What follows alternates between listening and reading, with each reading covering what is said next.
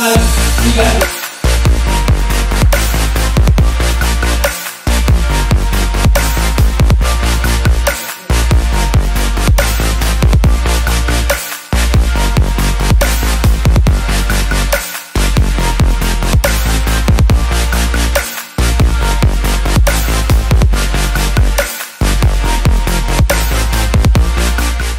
Antes de llegar al 2030 estaremos hablando de que habremos innovado tanto en todos los términos de la vida como del tiempo que llevamos sobre la faz de la Tierra.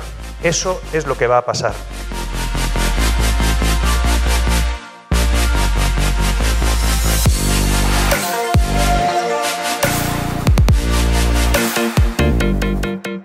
Los países que tienen más robots descubriremos que de negativo nada.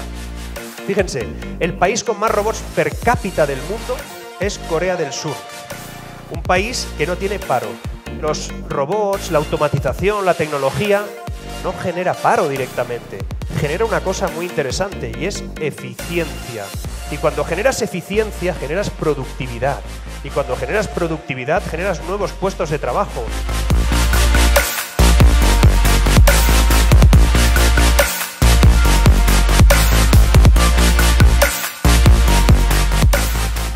Donde no, entonces no habrán entendido que estamos en la cuarta revolución industrial.